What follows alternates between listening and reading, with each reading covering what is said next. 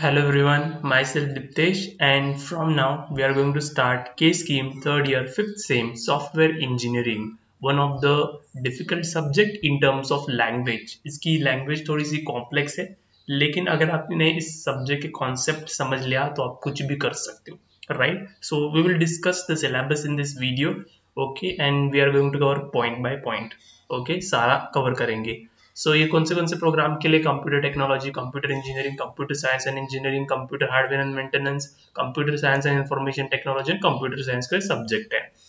Okay semester fifth है software engineering course title and course code क्या है? Three one five three two three okay so this is a course code so अभी subject सीखने से पहले हमें पता होना चाहिए सॉफ्टवेयर इंजीनियरिंग में आपको क्या पढ़ना है, क्या सीखना है। सॉफ्टवेयर इंजीनियरिंग मतलब आपको यहाँ पर सॉफ्टवेयर को नहीं बनाना कोई कोडिंग पार्ट यहाँ पर नहीं करना ओके बल्कि जब हम सॉफ्टवेयर बनाते हैं, कौन से कौन से प्रोसेस से हम वो सॉफ्टवेयर बनाएँगे? वो हमें देखना है। क्या स्टेप्स होंगे सॉफ्टवेयर बनाने के लिए? ओके, उसका कितना कॉस्ट होगा? सॉफ्टवेयर डेवलप करने में कितना टाइम लगेगा? वो हमें सारा बेसिक बैकग्राउंड उसका पढ़ना है सॉफ्टवेयर इंजीनियरिंग में कि कैसे वो डिज़ाइन करते हैं, कैसे डेवलप करता है। डेवलप करने के बाद हमें क्या करना चाहिए? उसको कैसे मेंटेन करने का? उनकी कितनी कॉस्ट होगी? उनकी क्वालिटी उनकी क्वांटिटी उस पर हमें देखना है कि इस सब्जेक्ट पर। ठीक है? So this is basic idea in software engineering okay यही हमें पढ़ना है।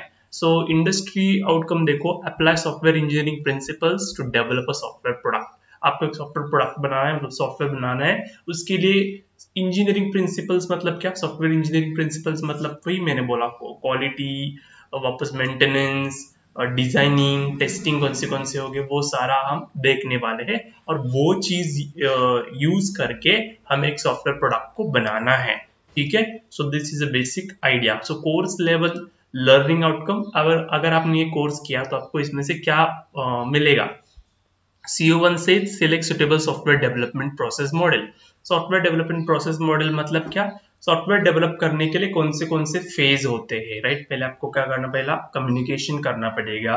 उसके बाद आपको प्लानिंग करना पड़ेगा। फिर डिज़ाइनिंग करना पड़ेगा, फिर आपको कोडिंग करना पड़ेगा, फिर कोडिंग को आपको टेस्ट करना पड़ेगा टेस्ट के बाद आपको मेंटेन करना पड़ेगा, फिर डिप्लॉय करना पड़ेगा।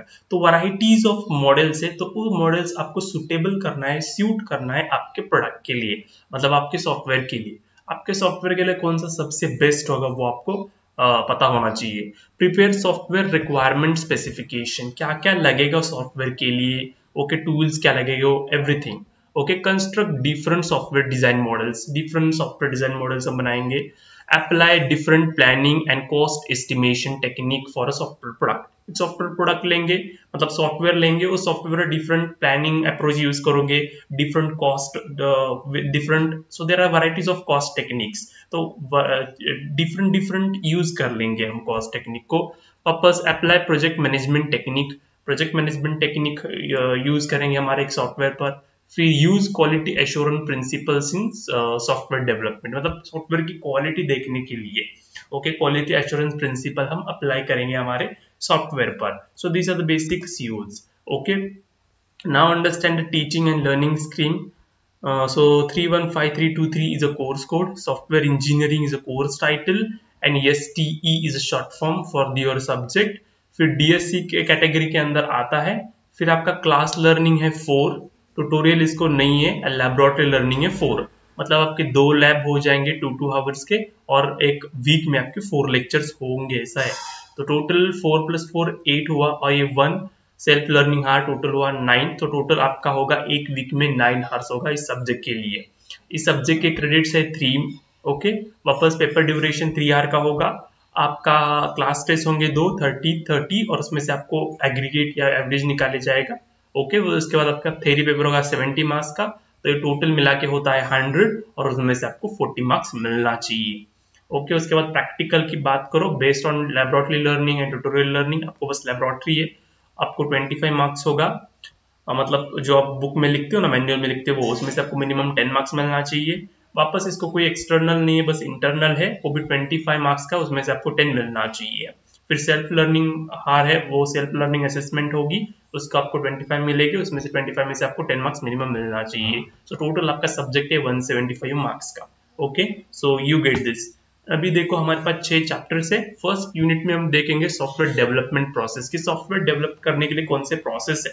मतलब कौन से कौन से लेवल्स है? वराइटीज ऑफ़ लेवल होते हैं वराइटीज ऑफ़ मॉडल होते हैं। तो एक अप्रोप्रिएट मॉडल आपको चूज़ करना है सॉफ्टवेयर बनाते वक्त। तो ठीक है? So this is for twelve marks उसके बाद सॉफ्टवेयर रिक्वायरमेंट इंजीनियरिंग क्या क्या लगेंगे कौन से कौन से टूल्स लगेंगे, वो।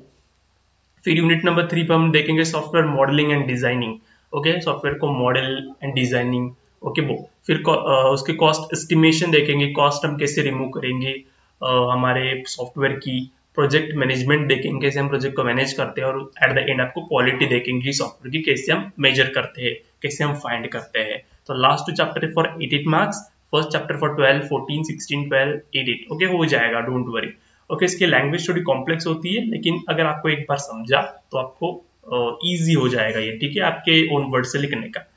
Okay I am going to explain everything in next video we are going to start unit number one that is software development process I hope आपको ये वीडियो अच्छी लगी होगी. If you like this video then do comment okay in bye bye